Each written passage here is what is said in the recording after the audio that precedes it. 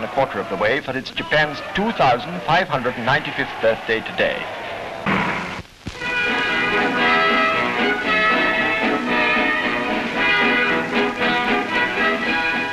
A Japanese warship brings an imperial visitor to Japan. The Emperor Kang Teh of Manchukuo with Prince Chichibu, brother of the Mikado, arrives at Yokohama. The scene is unique. For the first time in history, a foreign sovereign sets foot on Japanese soil. At Tokyo, the Emperor of Japan meets the Emperor of Manchukuo.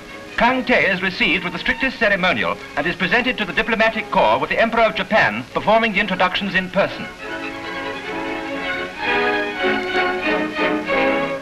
Thus the world may see that Manchukuo is an independent state, and only incidentally, of course, an ally of Japan.